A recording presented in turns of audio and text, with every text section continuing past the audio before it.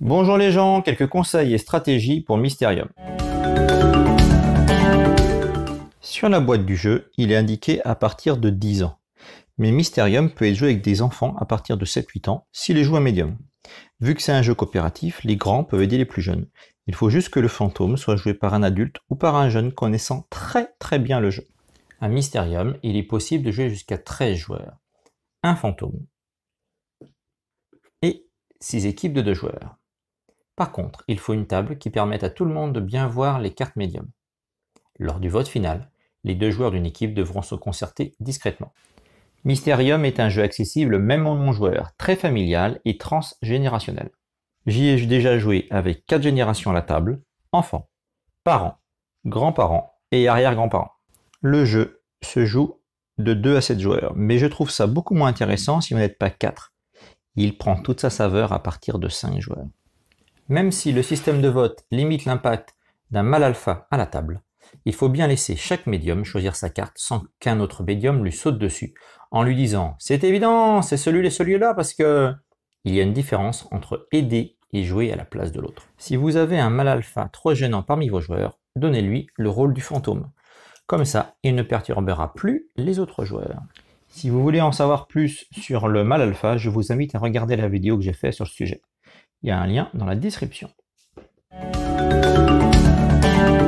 Pour 5 joueurs, une grande table est nécessaire.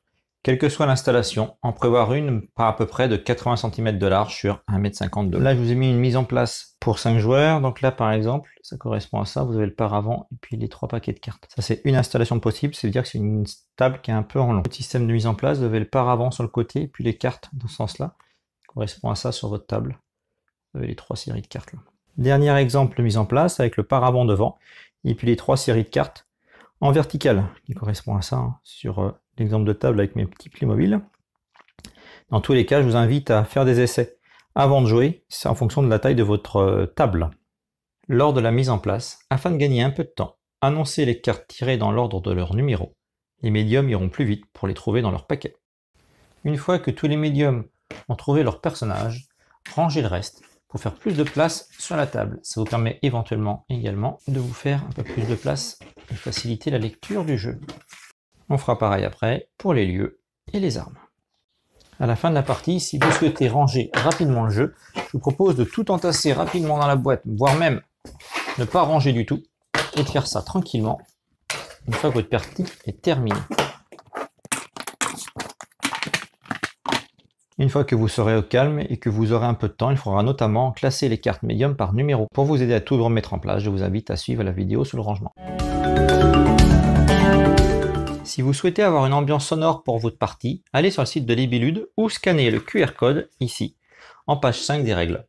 Je vous mets le lien en description. Il y a plusieurs musiques mises à disposition. L'autre solution, c'est de télécharger l'application Litsi, qui vous permet d'avoir le son directement. Hop, vous allez dans Mysterium, et vous choisissez la musique que vous voulez.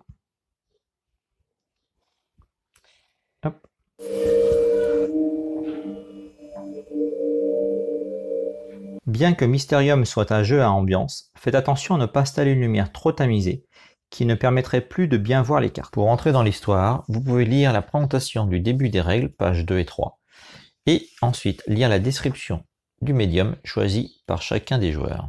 Pour parfaire l'ambiance, vous pouvez très bien prévoir un accessoire de déguisement correspondant à chacun des différents médiums, afin d'aider chaque joueur à entrer dans son personnage, sans aller jusqu'au costume complet, comme trouvé déjà sur internet. Je vous mettrai le lien dans la description.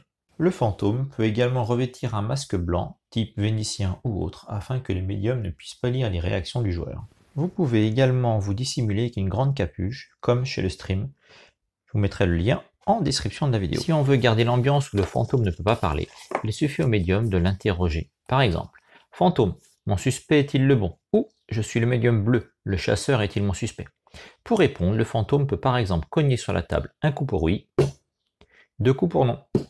Sinon, le fantôme peut également répondre en mettant un pouce vers le haut lorsque la carte est bonne et un pouce vers le bas dans le cas contraire. On peut également imaginer que le fantôme ne réponde pas, mais déplace silencieusement les pions intuition de manière fantomatique. Dans le cas où vous interrogez le fantôme, on ne peut le faire qu'au moment de résoudre le bon positionnement des pions intuition à la fin du sablier, jamais pendant. On ne peut pas demander au fantôme suis-je sur la bonne piste ou dois-je voter pour le joueur rouge, ni jouer au qui Mon suspect porte-t-il la moustache? Vous pouvez quand même permettre au fantôme de discuter avec les joueurs sans donner d'indice. Mais attention à ce que le fantôme ne juge pas en cours de partie les choix des joueurs, cela les aiderait pour la suite. Un fantôme disant Pourtant je t'avais mis une carte blanche pour que tu comprennes que c'était le blanc de la tenue. C'était simple. Au tour d'après, lorsque le joueur recevra une carte très jaune, il cherchera un lieu jaune. Vous ne pouvez donc pas non plus commenter les cartes que les joueurs ont trouvées pour éviter le même problème. Par contre, lors d'une collation, vous pouvez très bien demander au fantôme s'il veut une boisson chaude et l'obliger à cogner sur la table pour répondre. Un coup pour oui, deux coups pour non, trois coups pour avec du sucre, 4 coups pour merci, mais sans nuage de lait, car le lait c'est pas bon pour la santé. Bien sûr, l'ambiance d'une partie de Mysterium dépend du groupe de joueurs. À vous de décider ensemble de ce que vous voulez mettre en place comme ambiance ou rien de spécial.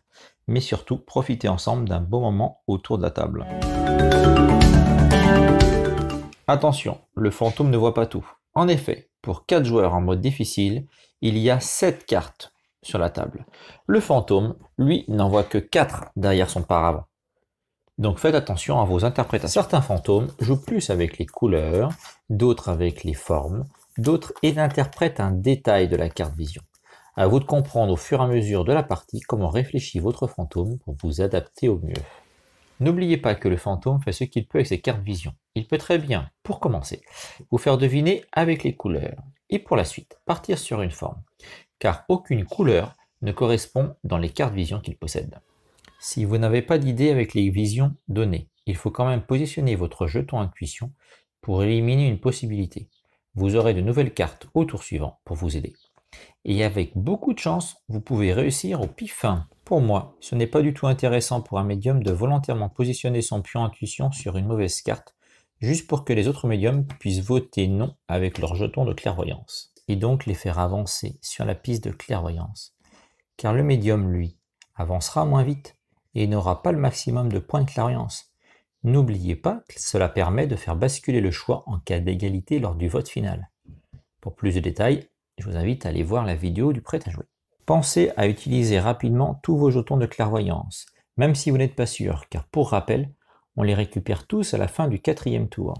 Et même tous les utiliser après le quatrième tour, car il n'y a pas de points supplémentaires à la fin de la partie s'il vous en reste.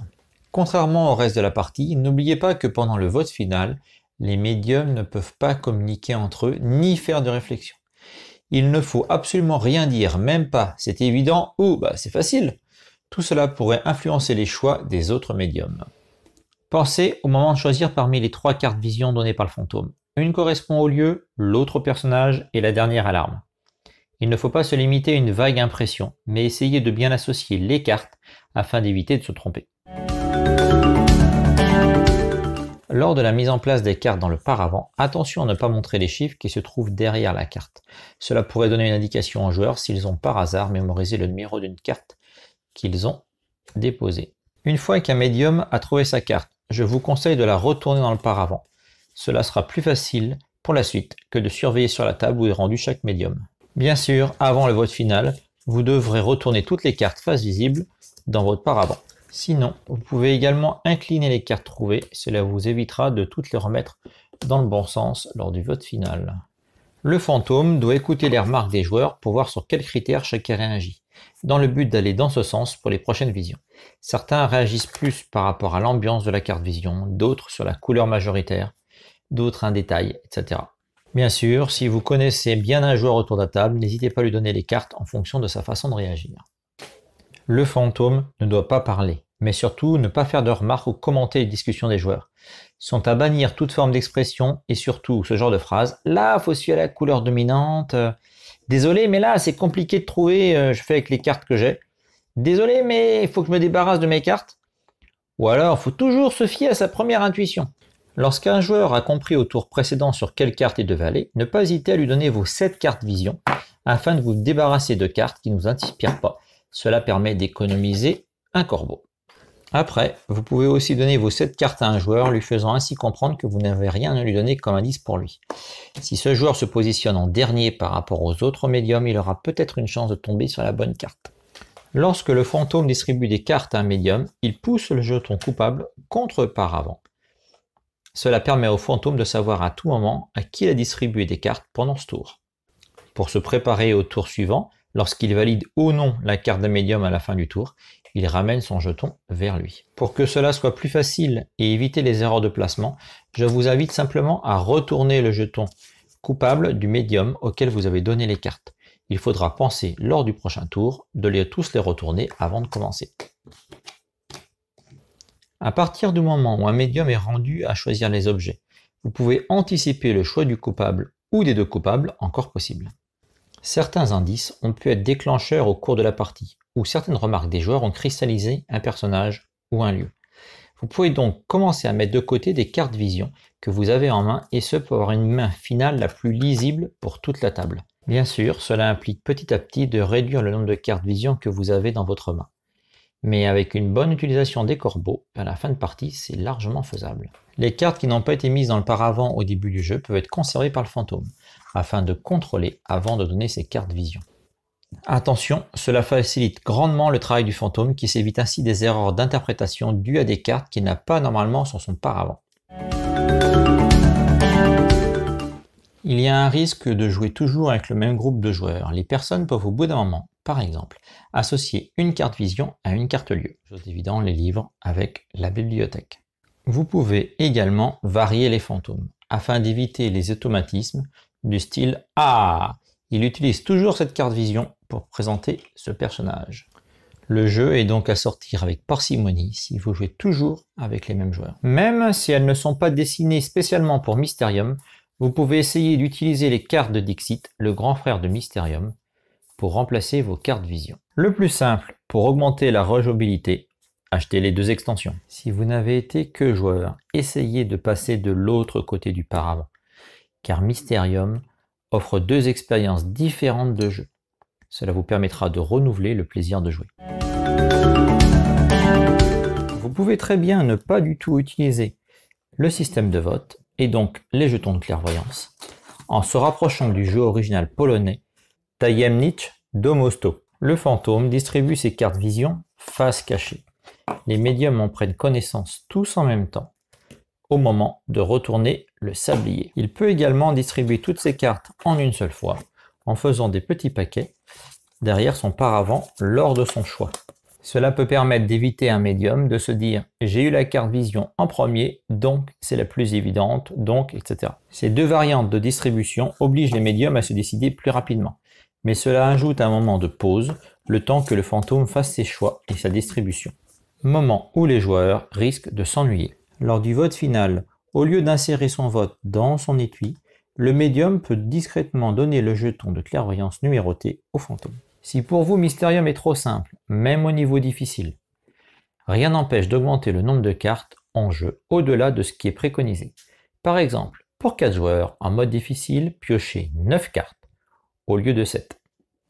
Voilà, c'était la vidéo de Mysterium. Je vous invite à laisser des commentaires afin de partager vos éventuels conseils et stratégies.